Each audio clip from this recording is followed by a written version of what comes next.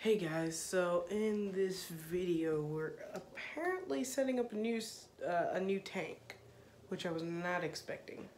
But uh, we've got this two and a half gallon tank that's actually really new. I didn't, I actually found it today. Um, my front, uh, real quick, uh, just as disclaimer, the front camera isn't working the only camera that's working is a selfie camera, so I'm gonna have to figure out how to adapt everything to that, but you know, we'll just make do with what we've got for now. Ah, I didn't know I can extend this more. Anyways, so um, this is the tank we are using. It's another two and a half gallon. Uh, this one's also a two and a half gallon, and I've got some dirt here from outside. And so we're gonna go ahead and take that hood off. Just got a nice little ring to do so. Um, it does come with a backdrop, but I'm not sure I'll be using that. So we're just gonna go ahead and dump our dirt in. So let me go ahead and actually show you guys the dumping of the dirt. Um, there we go. Oh, that actually works nicely. Okay, so we're gonna go ahead and dump our dirt in. That's a lot of dirt. Let me get my. Oh, sorry, you guys. Gotta get my professional aquascaping tools. Uh, which um was not a sponsor, but this brand I don't know how to pronounce it is a really good, a really good uh, aquascaping brand. This was like I think like $17 off Amazon. So super useful. Let me actually turn this light on so you can see a bit better. That's better now, isn't it? So there we go. We've got our saint. We've got our new. Actually, let's take a little bit of that back out because I don't think we're gonna need that much of it. So let me go ahead and take a little bit of that out of the tank. Uh oh drop my professional aquascaping tools. I can't see properly, so I'm not going to use this light. I'm going to use, uh, I'm going to use the light that's on the pea puffer tank. There we go. Up. Now, mind you, this isn't the light that's going to be staying on this tank. Uh, this is just the one that I'm using for the video. Um, just so that, because this is a bit better lighting, I think. And it just helps me to be able to see inside the tank when I am scaping. Because the glass is not incredibly clear. Um, it is a very cheap tank. The walls aren't actually made of glass. They're made of plastic, so it's not a super, you know, it's not a super high-end tank. But, you know, it'll work. It's a free tank. Um, I found this off the side of the road. Can you believe someone was going to throw this tank away? I sure can't. Um, so let's go ahead and go get some sand for this tank. So I guess I'll bring you with me. So let's go get some sand at our uh, sand harvesting pit. So let's go. Uh, uh, I don't have my remote with me. Okay. Okay, here we are. About to go out. Oh, it's bright. About to go outside. We're outside. Uh, we're gonna get some sand from our sand harvesting pit right there. That's our sand harvesting pit. Um, this is where the magic happens. This is where we get all our sand. So, if you wanted to know, that's where we get it. Ugh. Trying to get this sand. Uh-oh. Oh, shoot. Shouldn't have done that. Should not have done that. Uh-oh. We've got a bunch of aqua soil in there. Oh, well. We'll just rinse it out. yeah, this sand is going to need some rinsing. So, yeah. Oh gosh. It's a lot of sand. A lot of leaves. So So I'm gonna cut you to where we have all the sand. All right, we got our sand. It's so heavy. It's so heavy. Ah, I forgot our water hose is not working, so we're gonna have to use the bathtub to rinse out our sand. this is so heavy. Actually, no, there's a water hose over here that works. So, oh, goodness gracious. Ah, there's no water hose there. Never mind, no water hose there. Dude, this is so heavy. Okay, rule number one. Probably, well, I mean, you kind of have to carry it in the picture, so uh, good luck with your sand. Okay, we are here in the bath. Oh, oh, stupid light. Stupid light. Work. There we go. Anyways, we're here in the bathtub. We're going to rinse out the sand. So there's our sand. Just gonna turn that on. Put the sand right there underneath. And let it rinse. All right, we got our sand. Uh, there's still some leaves in there, but that's okay. Uh, the scape is gonna be kind of, you know, leafy, I guess. I was already gonna probably add botanicals in there anyway, so not a big deal. Real quick, uh, this tank actually came with a heater. So, uh, heater, there we go. So let's hope that thing works. Not sure it will, but let's hope. We can dream. Alright, so let's go ahead and put camera where it was because I am definitely the best YouTuber on the planet, aren't I, guys? If I am, make sure to subscribe. Definitely, because, oh, ugh, probably shouldn't have done that. It's fine, though. Okay, well, I dropped my light, but I kind of don't care. Except I probably should, but I kind of don't. So, oh gosh, this stuff is heavy. Let's go ahead and dump out all our sand. Oh gosh. Okay, I'm probably going to cut you to when we actually get the sand situation situated.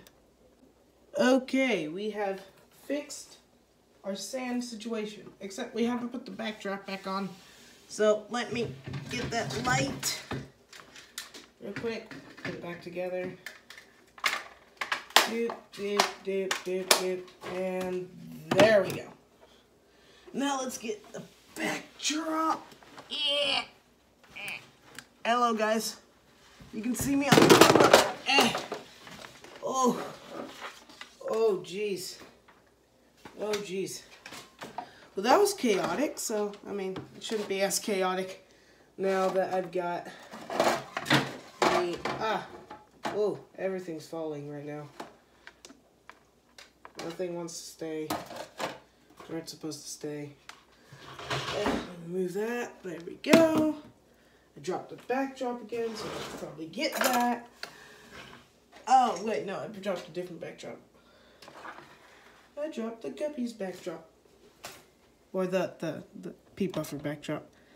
Uh, I'll probably post a video about that in the future. Ooh, I'm tired. Anyways, let's go ahead and get this sand all spreaded out.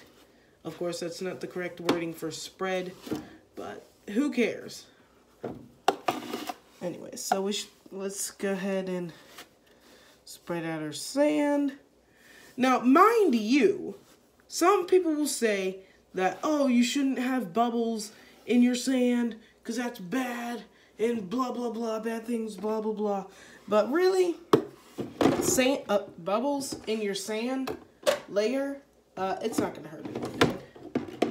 Uh, if anything, it's just going to turn into CO2 that, you know, ends up being used for the plants.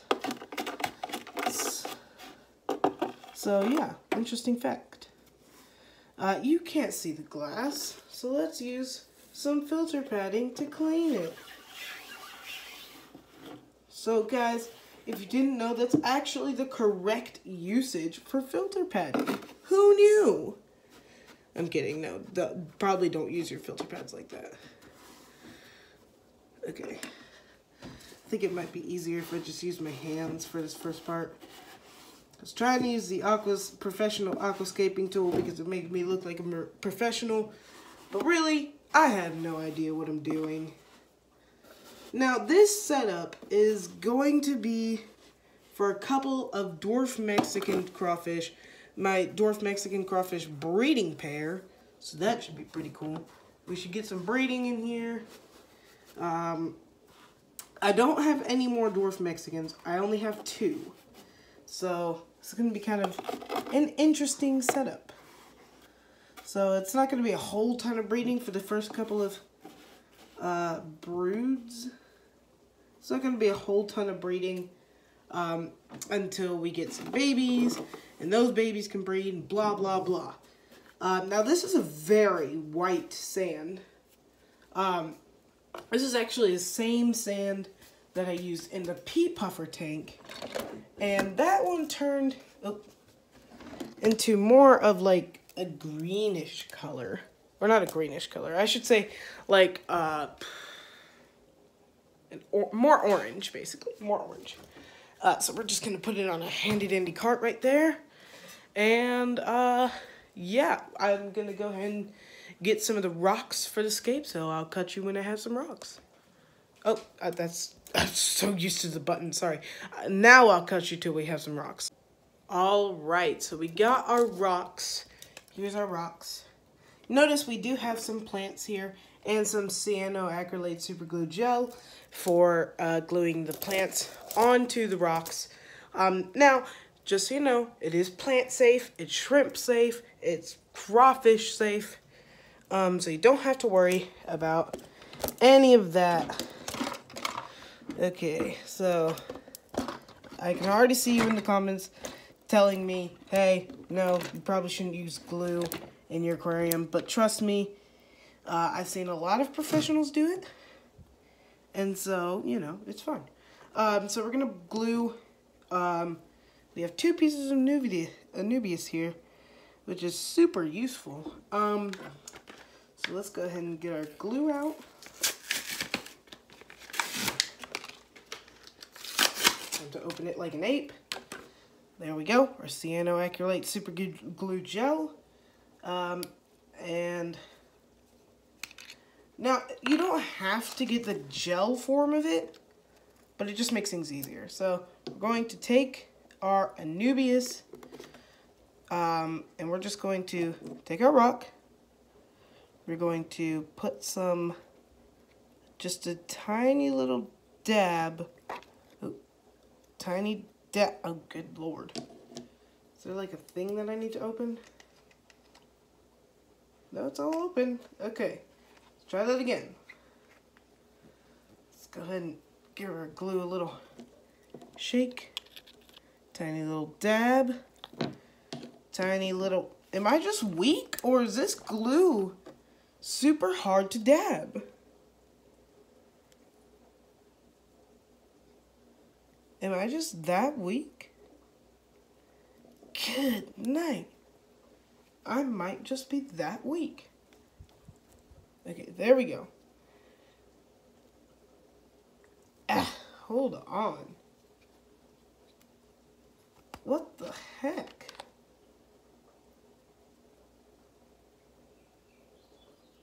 Mmm, that's weird. That is super weird. So I guess we just gotta give it a nice shake down that. Then we'll dab it? No? What are you doing?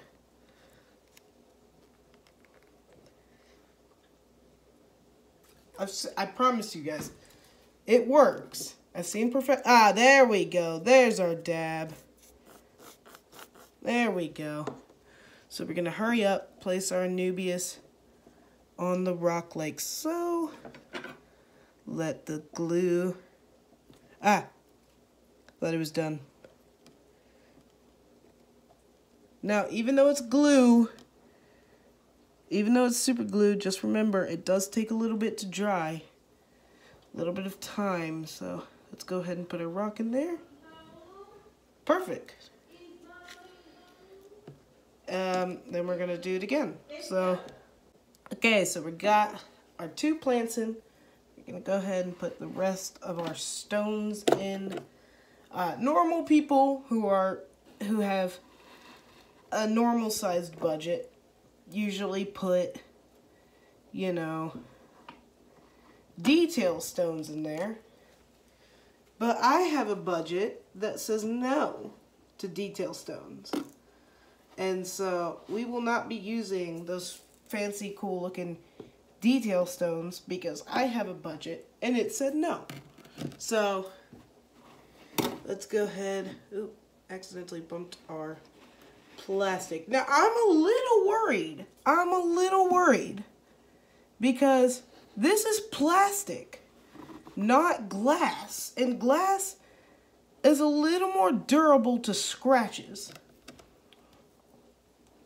But plastic, however, is not as durable as glass. So I'm a little worried. I really want to put as much detail as we can into the scape. I actually kind of like that. Maybe if we put the Anubias like right here, one of the, this Anubias right there. I kind of like that. But I feel like, mm, I'm not sure. I'm not sure how I'm feeling. It's a little too simple. Let me see. Let me get some more stones. Let me get some more stones. And by some more stones, I literally mean one more stone. So, let's see. Will this make all the difference? Ah, I feel like that flat stone is too flat to be in front or in the back.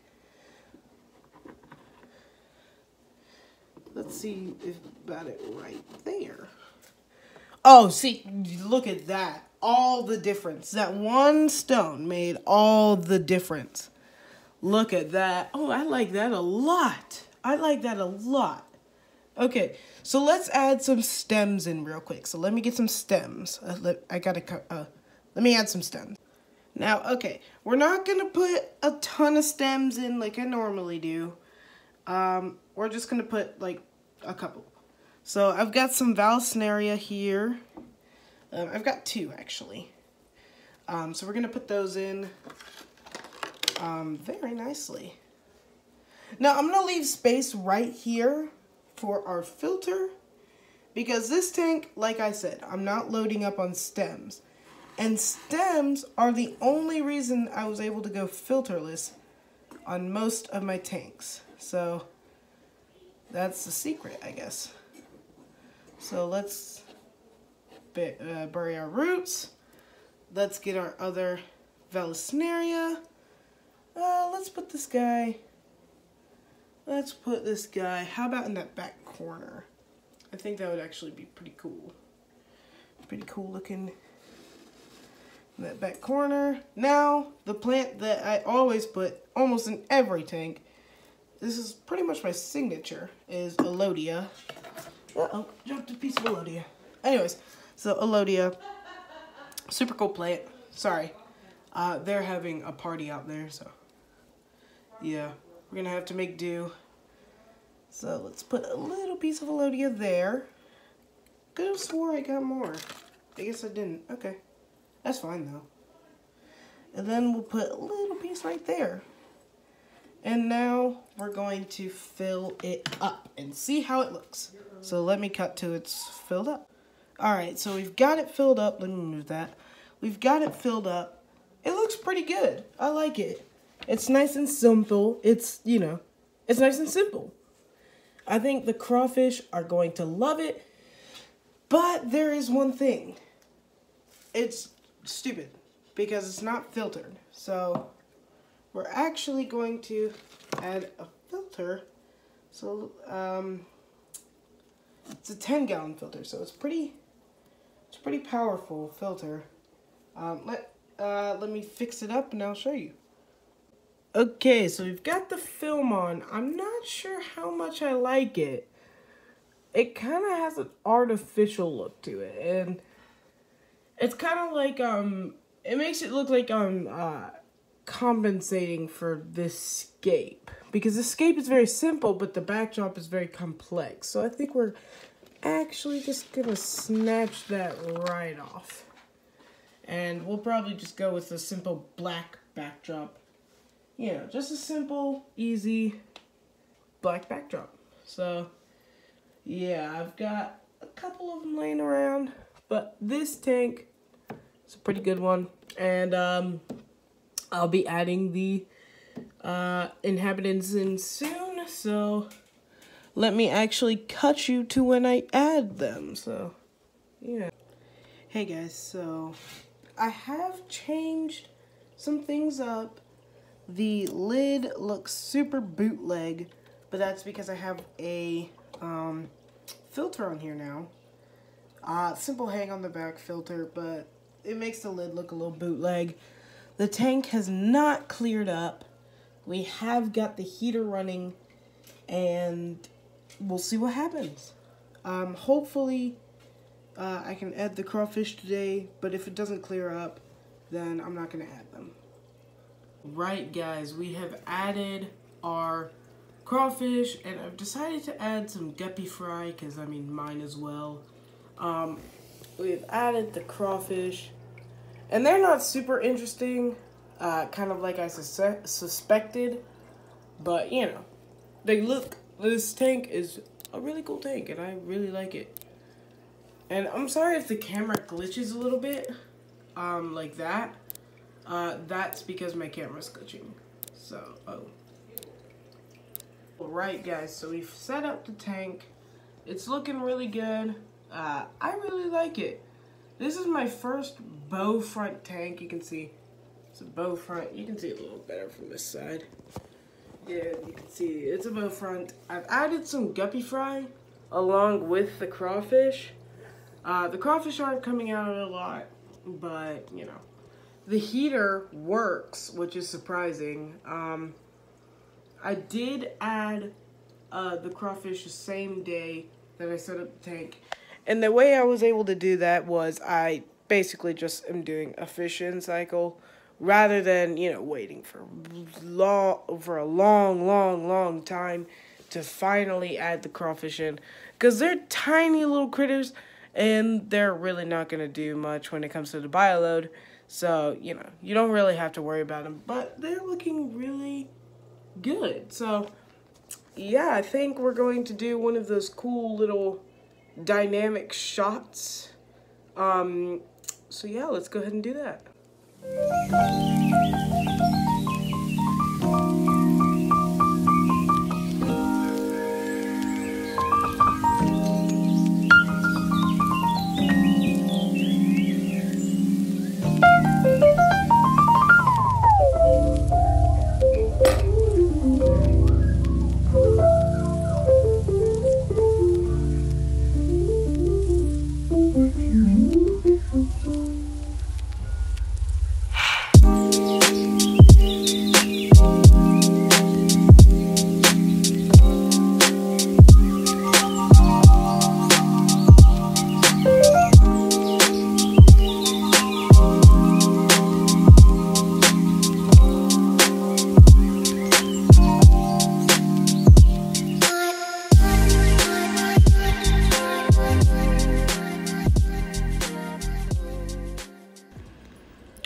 guys, I just want to say thank you for watching this video.